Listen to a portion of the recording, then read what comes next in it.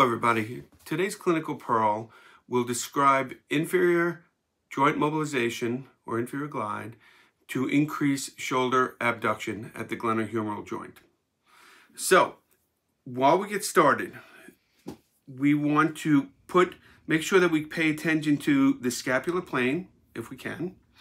We want to make sure that it's neutral rotation, not external, not internal. In doing so, it takes a little bit getting used to being able to multitask with your arm, but if you notice, my hand is on Hannah's uh, humerus, and her arm is resting in my forearm uh, at the elbow. This way we don't wobble back and forth.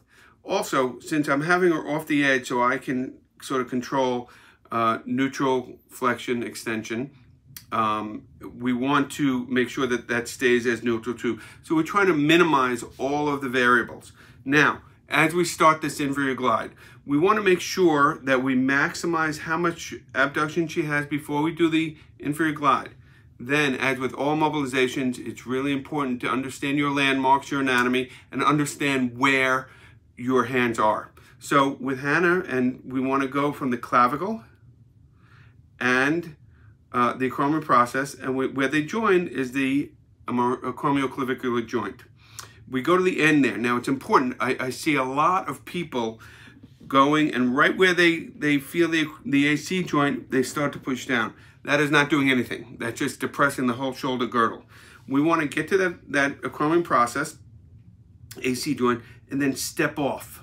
Step off till we feel the joint space and step off so we can feel the greater tubercle of the humerus.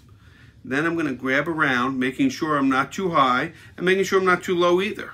And I'm right on, just distal to the AC joint. And now in the scapular plane, I'm going to go down into an inferior glide. You can see her muscles are twitching a little bit because she doesn't necessarily like all the uh, inferior glide, but I want to bring it down and you're here not to create any kind of instability. We're here to try to get more abduction by increasing the flexibility of the inferior glenohumeral ligament. So it's going down into a grade three or grade four. I don't like to oscillate, which really is what those grades are, but I like to hold it at the end of the available capsular range and then release back. Never losing contact, but then I will do a series of these to try to increase some uh, change in the capsule. If I'm convinced that we've made some progress, I'll try and bring on to a little bit more of abduction and then continue again to do a few more inferior glides. And that is how we do inferior glide to increase shoulder abduction. Thank you.